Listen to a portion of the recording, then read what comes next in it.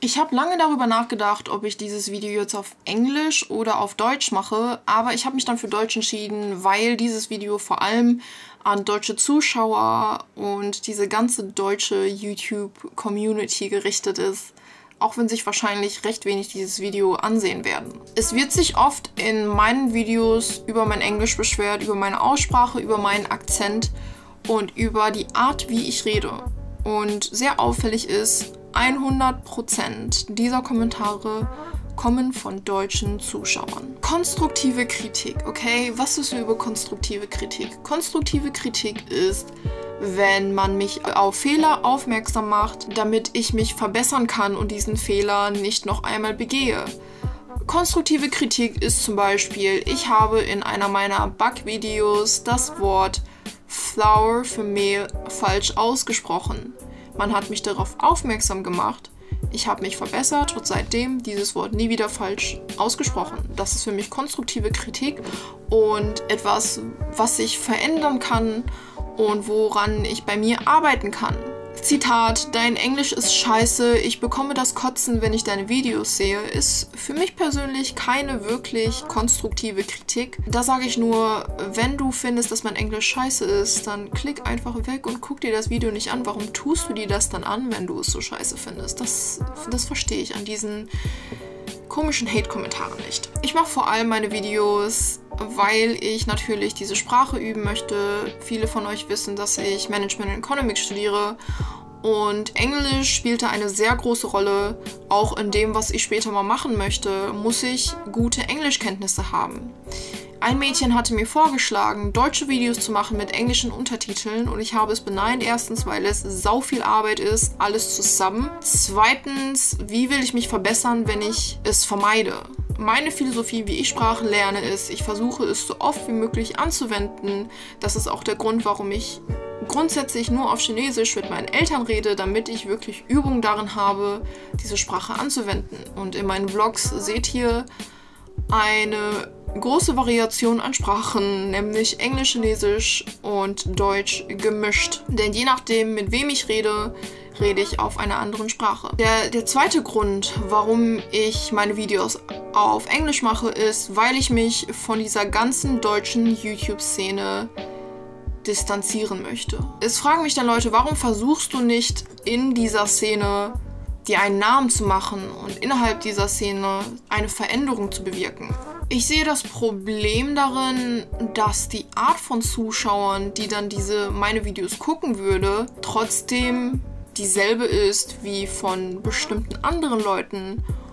Und ich bin ein sehr kleiner YouTube-Channel, okay? Ich habe meine 57.000 Abonnenten oder so gegen 3 Millionen von bestimmten anderen. Und wenn ihr euch diese Fans mal reingezogen habt. Ich habe damals ja einen deutschen YouTube-Kanal gemacht und ich hatte auch in einem Video mal eine bestimmte Person die mittlerweile drei Millionen Abonnenten hat, kritisiert.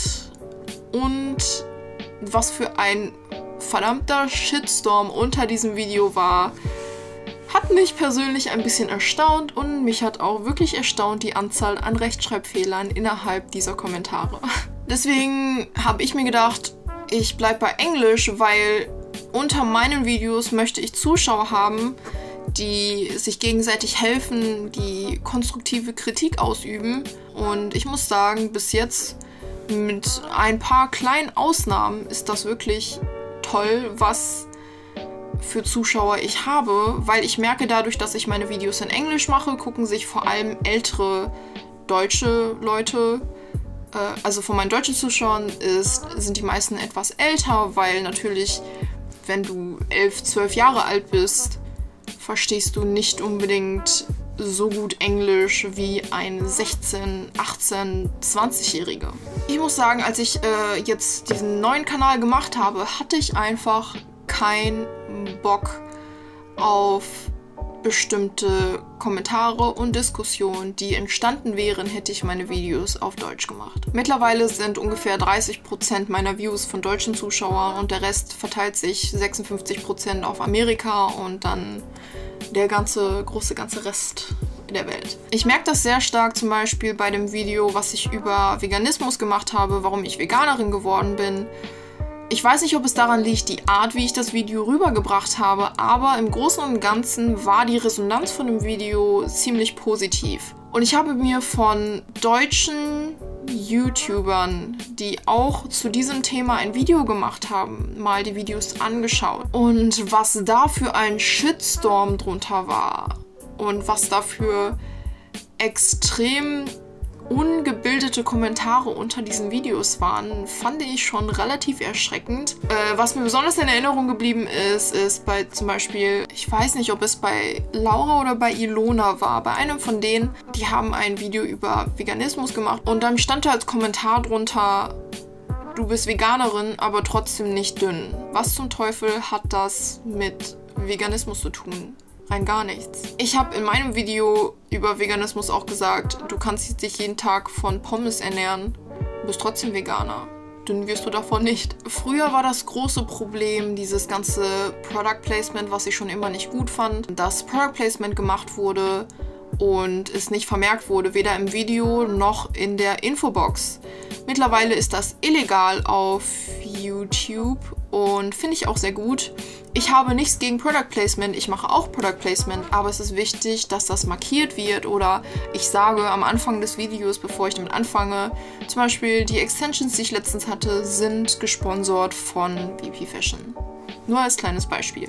Und solange man äh, wirklich darauf aufmerksam macht, dass es Product Placement ist, finde ich Product Placement nicht schlimm. Aber nun ja, wie das Product Placement in manchen Fällen ausgenutzt wurde von diesen YouTubern, weil deren Zuschauer natürlich sehr jung sind und dann wirklich blind dem folgen, was ihnen da vor die Nase gesetzt wird, fand ich sehr kritisch immer.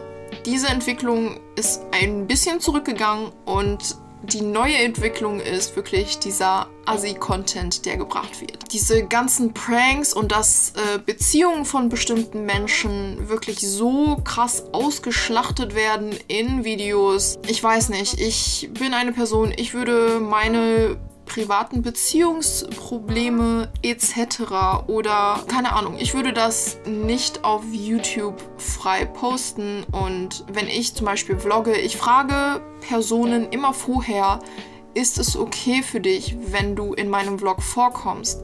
Und nur wenn diese Person ein Ja gibt, filme ich diese Person auch. Und ich hatte bei manchen das Gefühl, dass sie auch besonders bei diesen Pranks unfreiwillig gefilmt werden und das trotzdem gepostet wird, weil es diesen YouTubern einfach scheißegal war. Ich habe mir auch diesen Artikel von Marie Meinberg durchgelesen und wo auf sehr sexistische Inhalte hingewiesen wurde, von den meist abonnierten YouTubern in Deutschland. Ich habe nie deren Videos verfolgt und ich war nie ein Abonnent von den Kanälen. Auch wenn die bei mir bei Suggestions kamen, habe ich die nie angeklickt, weil ich wusste, wenn ich die anklicke und ich gucke meistens YouTube-Videos auf meinem iPad oder auf meinem Handy, dann kriegen die Ad-Revenue von mir und äh, die kriegen Klicks von mir und das möchte ich ihnen in diesem Moment nicht geben. Nun, nachdem ich diesen Artikel gelesen hatte und mir auch von Luna das Video angeguckt hatte, bin ich mal auf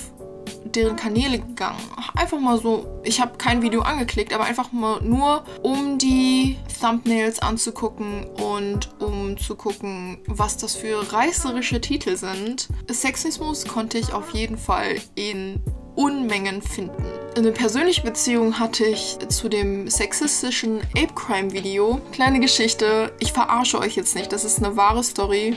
Mich hatte damals André Schiebler auf Facebook geedit und ich wusste damals nicht, wer Ape Crime war. Mir ist nur halt aufgefallen, dass dieses Facebook-Profil, was er benutzt hat, ziemlich krass viele Follower hatte. Und ich habe ihn angenommen, ich war neugierig. Und dann haben wir so ein bisschen gequatscht. Und dann später hat mir meine Schwester gesagt, da, der ist von einem sehr berühmten YouTube-Trio. Ich glaube damals, als er mir das geschrieben hat, hatten die 800.000 oder so Abonnenten. Und ich fand den voll nett. Er hatte mir damals eine Handynummer gegeben, rückblickend betrachtet ähm, glaube ich, dass er einige Handynummern hat, um Mädels abzugreifen. Jedenfalls hat er mir eine Handynummer gegeben, wir haben auf WhatsApp geschrieben und das Gespräch verlief auch voll normal. Und dann wollten wir uns treffen und dann ging die Scheiße bergab.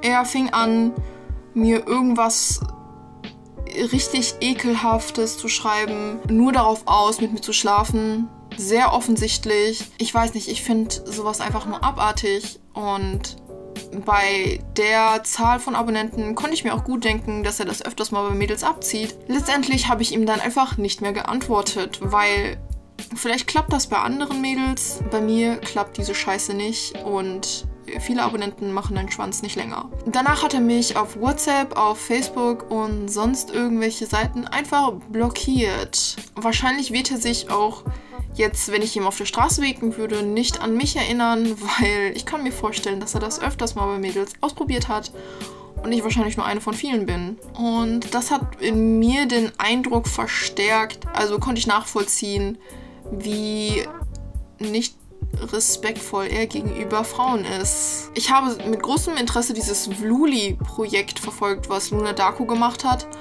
Und ich habe mich auch ein bisschen selber darin wiedergesehen mit diesen Daily Vlogs. Äh, ich weiß, dass sie persönlich diese Art von Daily Vlogs, die auch ich mache, nicht mag. Nur versuche ich persönlich in meinen Daily Vlogs trotzdem irgendwo gute Werte zu vermitteln. Ich zeige euch, wie ich veganes Essen koche. Ich versuche euch zu vermitteln, dass ihr an euch arbeiten sollt. Und manchmal zeige ich euch, wie ich für die Uni lerne und äh, Klavier übe etc. Und dass man wirklich sich bilden sollte, seine Interessen breit fächern und an vielen Sachen arbeiten soll. Das ist das, was ich versuche in diesen Daily Vlogs zu vermitteln. Manche sind auch einfach nur random aber wenigstens bewerte ich in meinen Videos keine Titten oder Ärsche. Ich möchte sagen, ich bleibe beim Englischen, auch wenn diese bestimmten deutschen Zuschauer das nicht mögen, weil das ist mein Kanal, das ist meine Entscheidung.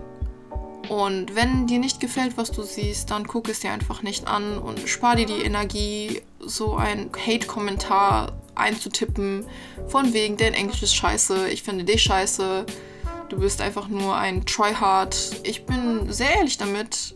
Ich finde den deutschen Content, den die meisten machen, einfach nur scheiße. Ich will mich jetzt nicht so weit aus dem Fenster lehnen, aber vielleicht liegt es auch einfach an den YouTubern selber, dass denen auch äh, bestimmte Werte nicht vermittelt wurden oder denen es etwas an Bildung fehlt, weil ich habe mir tatsächlich mal ein Video angesehen von einer bestimmten deutschen YouTuberin, die einen Maiskolben aus der Tüte in die Mikrowelle getan hat, in Hoffnung auf Popcorn. Vielen Dank fürs Zuhören. Das Video ist relativ lang. Das ist nur meine Meinung. Und die nächsten Videos werden wieder auf Englisch sein. Peace out.